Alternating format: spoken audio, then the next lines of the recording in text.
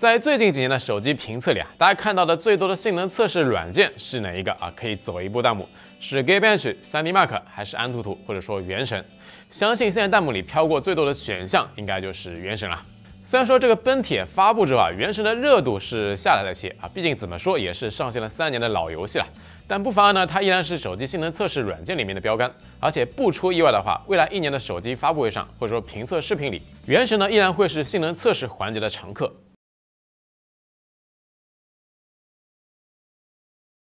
从火龙八八八剑一机型全部被原神干趴下，到八加天九千啊陆续征服，再到骁龙八剑啊完全征服，这期间呢，原神也更新了好多个版本啊，各家手机厂商也纷纷对这款游戏做出了性能调度优化。不过呢，从画质层面上来说，手机端原神是真的不太够看，这 720P 渲染画面看着呢总感觉是糊糊的。就拿大米自己来说啊，平时玩的话，大多数时候呢还是在电脑上或者说 iPad 上去玩。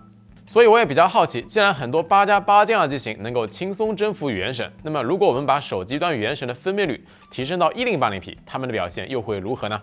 结合骁龙八加八这样的测试数据，下半年即将发布的天九千三以及骁龙八 Gen 三这些新 SOC 有没有能力征服一零八零 P 原神呢？一起来看一下测试吧。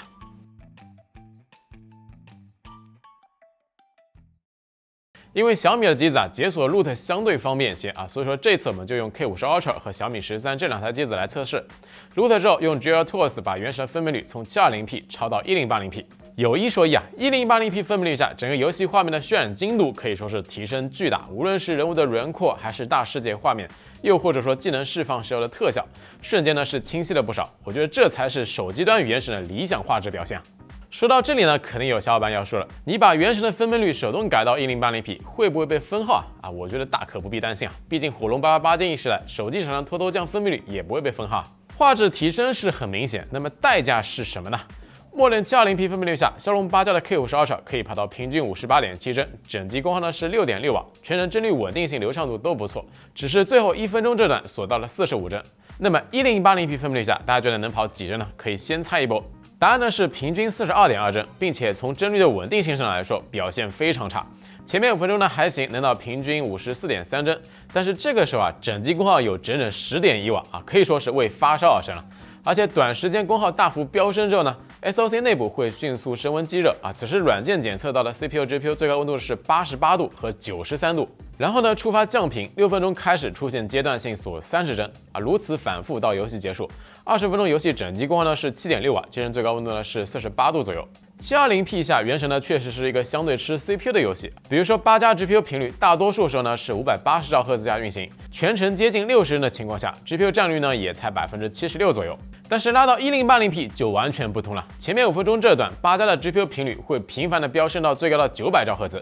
并且在这个高频状态下，GPU 的平均占用率也是达到了百分之八十八点五。要知道，八加的 GPU 满载功耗是可以达到八点六瓦左右的。既然如此，那么 GPU 能效遥遥领先的骁龙八 Gen 会不会有明显提升呢？接下来我们来看一下小米十三 Pro 的表现。八加默认是七二零 P，平均帧率呢是五十九点三帧，整机功耗呢是五点九瓦。到了一零八零 P，平均帧率呢是四十七帧，整机功耗呢是七点三瓦啊。对于八加呢还是有明显提升的。同样是截取前面五分钟帧率，十三 Pro 平均呢是五十七点一帧，整机功呢是八点五瓦。帧率呢比八加高，但是功耗更低，而且小米十三 Pro 呢还是两 K 屏，如果同是一点五 K 屏，功耗呢还能略微低一点啊，所以说八 Gen 啊在高性能区间能效呢确实会比八加强许多，游戏过程中也没有出现 K 五十 Ultra 那种阶段性锁三十帧的问题，CPU GPU 降频之后基本是稳定在四十帧左右。另外，我们也是测试了一波带散热背夹的数据，二十瓦散热背夹加持之后，骁龙八加游戏体验呢算是有明显起色，平均帧率从四十二点一帧提升到了五十四点一帧，整机功呢依然是比较感人，有十点二瓦。啊，如果说不用散热背夹压着放开跑，机身温度飙升之后啊，我估计这个功耗是要奔着十一瓦、十二瓦去了。小米十三 Pro 加散热背夹，平均帧率呢从四十七帧提升到了五十七点七帧，啊，整机功呢是八点三瓦，帧率和功耗依然是会比八加更强。不过在跑原神的时候，小米十三 Pro 的 GPU 频率上限会被锁定在四百七十五兆赫兹。游戏过程中，GPU 的平均占用率是在百分之九十四左右啊，属于是刚好够用。但是有些场景啊，这个频率依然会成为性能瓶颈。用工具解除 GPU 频率限制，六百八十兆赫兹放开跑之后重新测一次，八 Gen 的平均帧率可以达到五十九点二帧，不过整机功耗也是进一步提升到了九瓦。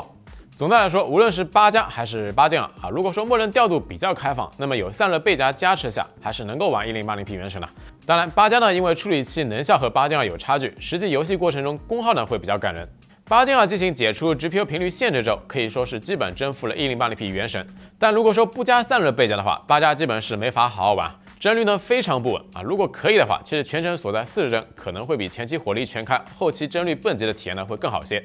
八剑的表现虽然不能说很流畅，但总体来说呢还是能玩的。平均呢是四十七帧左右，游戏功耗呢也没有太离谱。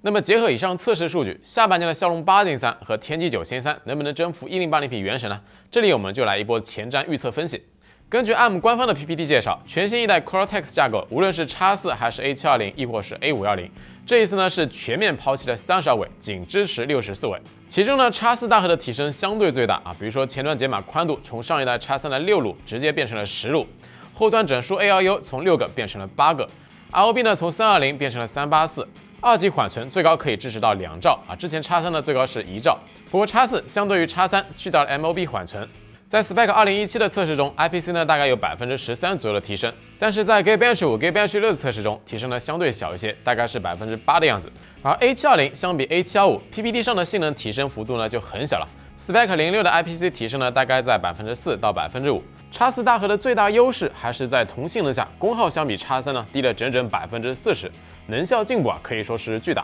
A720 同性能下功耗降低百分之二十。A 五二零相比 A 五幺零呢，同性能下功耗降低了百分之二十二左右。当然，ARM 这边的 PPT 大家简单看看就好了。比如说，去年 ARM PPT 上的 A 七幺五相比 A 七幺零，同性能下功耗下降百分之二十。但是在八键二上，同频同工艺的 A 七幺零和 A 七幺五并没有提升这么多。这一次新架构的流片测试是基于台积电的 N 三 E 工艺。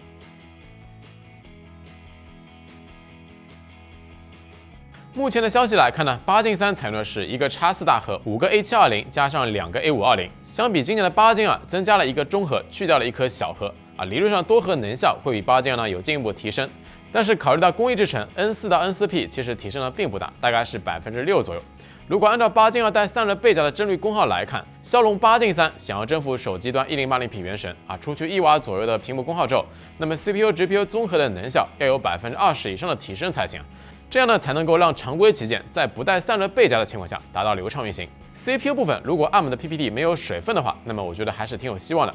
毕竟相对于八进二，八进三呢又增加了一颗中核，GPU 在工艺制程没有大变化的情况下，想要大幅提升能效，只能靠堆规模和架构升级了。但是从八加到八进二，高通这边的 GPU 已经是近几年提升最大的一次了，从原先的四 CU 变成了六 CU。八进三的 GPU，我觉得挤牙膏的概率呢会相对大一点啊，至少不会像八加到八进二提升那么明显。所以八进三想要彻底征服原神一零八零 P，比如说平均五十九帧，并且帧率很稳啊，我觉得还是很有难度的。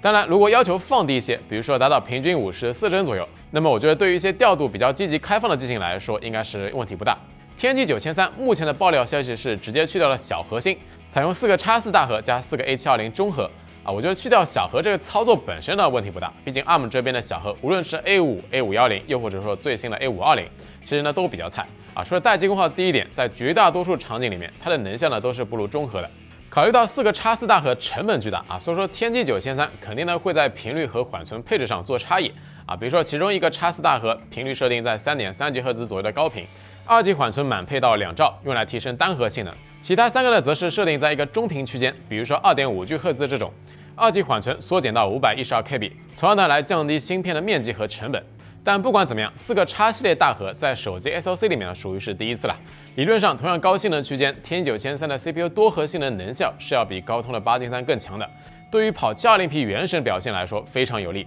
但是 1080P 分辨率下的原神，其实对于 GPU 方面的性能要求也很高啊。发哥的 GPU 想要超越高通，我觉得还是挺难的。比如说，发哥最新的天玑九千二 Plus 马里 G 七幺五十一核，频率狂超一千一百四十八兆赫兹之后，才勉强和八进二的 Adreno 七四零一战。但是性能接近的情况下，功耗高了整整百分之七十左右，达到了十四点七二瓦。相同分值性能下，能效呢是远远落后一大截。而 G 七二零按照 ARM 官方的 PPT 介绍，对比 G 七幺五呢，分值性能提升百分之十五，能效提升百分之十五。按照这个提升幅度，感觉去打 Adreno 七四零呢，依然是压力山大啊。所以我觉得天九千三征服一零八零 P 原生的难度要比八进三呢更高一些。当然，发哥在天玑九千三上狂堆 CPU 性能，我觉得是可以理解的。既然我公版 GPU 打不过你，那么这一次我就在 CPU 规格上猛堆料，大力出奇迹。GPU 你强任你强，但是我也有自己的优势卖点，要不然呢就会出现天九千二对阵八千二的尴尬局面。对比八加呢没有成本优势啊，对比八千二呢 CPU、GPU 都处于劣势。